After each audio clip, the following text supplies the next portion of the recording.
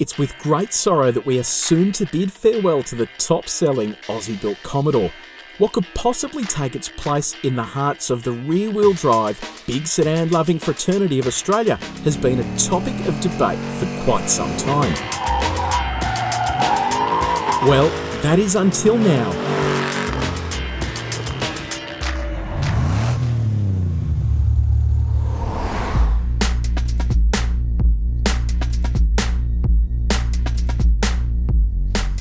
That car breaks our website every single time we mention it, and the comments section descends into a war zone. People either love it or loathe it. Of course, by the time you watch this, Holden will have pretty much shut the front door at Elizabeth. But the question on everyone's lips is how does the Stinger compare to one of Australia's best ever locally produced sports cars? Today we're going to find out, but we're going to do things a little bit differently. I know you're all here for performance figures, so we're going to get through those first before we see whether the Stinger has what it takes to take on the Commodore. First up, the quarter mile sprint. In that, we'll get the 0 to 100 kilometre an hour time, and that'll be followed by an emergency stop from a little over 100 kilometres an hour. It should be interesting because both come with Brembo brakes. Finally, it's our slalom torture test. Small cars love this little setup, but big cars will hate it. So let's get into it. So the quarter mile, first up is the Stinger.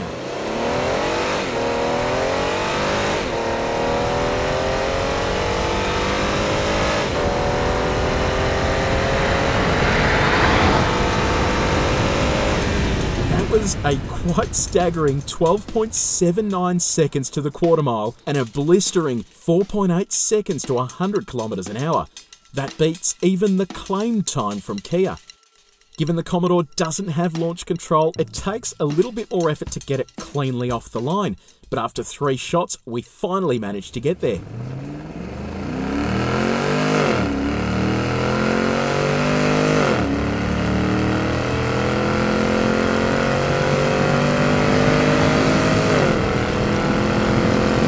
And there it is 5.3 seconds to 100 and 13.32 seconds over the quarter mile. That's a full half second or so slower on both sets for the Aussie icon.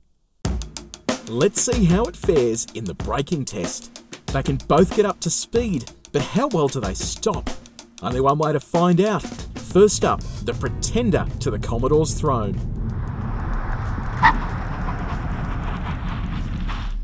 That's an impressive 2.7 seconds from 100 k's an hour down to naught, and the Stinger's covered 36.7 metres in doing it. So, what about the Redline?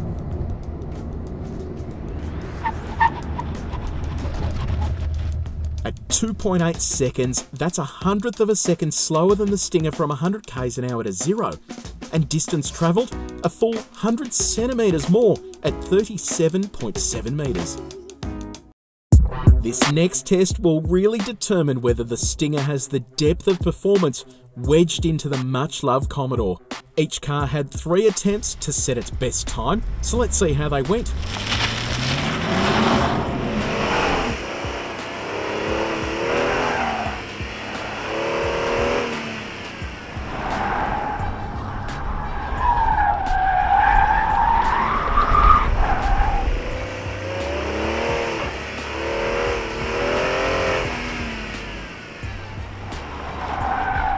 Twenty-one point nine nine seconds. That's pretty impressive stuff from a big sedan.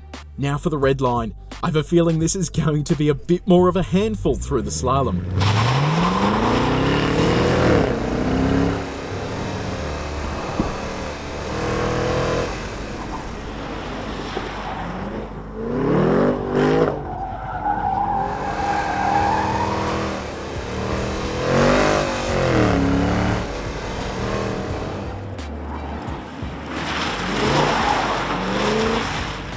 Twenty-two fifteen. Well, that's pretty much neck and neck on the slalom, barely two hundredths of a second in it.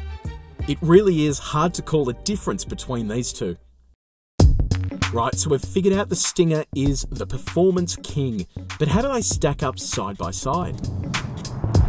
So 55,990 bucks. That's where this mid-spec SI sits right there neck and neck with the SSV Redline. So for that kind of cash, you get your big rear tyres, 255 millimeter wide. You get Brembo brakes on all four corners, plus that cracking 3.3 litre twin turbocharged V6. 272 kilowatts of power, 510 newton meters of torque, and all of that translates to this.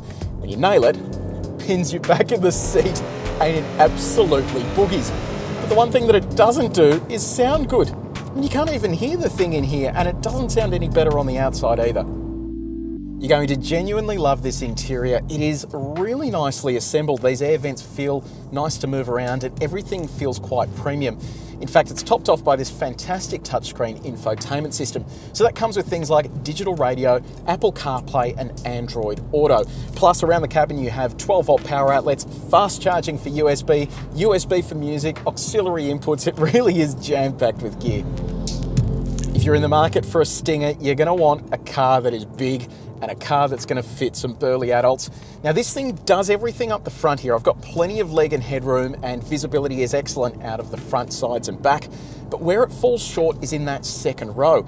It's got plenty of leg room, but it's down on toe room and headroom. So that sweeping roofline really cuts in, whereas the Commodore has the extra accommodation because of its sedan shape. As we're filming this, Holden has announced a seven year warranty for all new cars purchased in 2017, but it's only a short lived game because Kia has offered seven year warranties for some time now, and this thing falls under that category. Can you imagine a V6 performance car with a seven year warranty that you can transfer to other people? It almost feels like a steal. Now, one of the downsides to the Stinger is that when you have stability control switched off, like we do now, you find yourself an open piece of pavement like this, tip it in, bury the throttle. There's plenty of tyre smoke, but the stability control is still well and truly switched on. When we're starting to get quite sideways and we put in a bit of lock, I can feel it biting there and I can keep sort of adding power and it, it looks impressive from the outside, but it's not actually switched off.